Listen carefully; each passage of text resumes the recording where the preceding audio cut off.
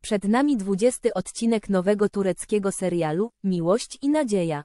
Cajnep nie może przestać myśleć o pocałunku z Ege, proponuje również Meli przyjaźń.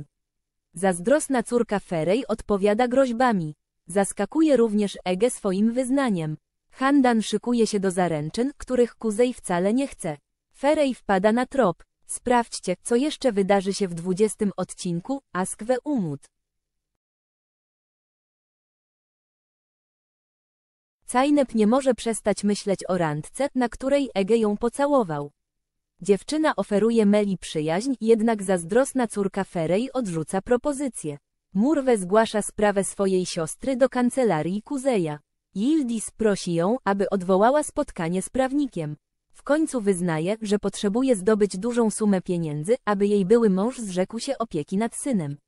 Handan przygotowuje się do oficjalnych zaręczyn z Kuzejem. Tymczasem prawnik wyznaje Bulentowi, że nie jest gotowy na małżeństwo. Między Meli a Cajne prośnie napięcie. Niespodziewanie do domu przybywa Ege. Myślałaś, że nie dowiem się, że okłamałaś moją mamę? Pyta wściekły. Kobieta odpowiada mu, że zrobiła to, ponieważ jest w nim zakochana. Tymczasem Ferej i Belkis udają się pod adres domu rodzinnego Cajnep. Otwiera im młoda kobieta, zapraszając je do środka. Zobacz, co się wydarzy, zdjęcia publikujemy w galerii.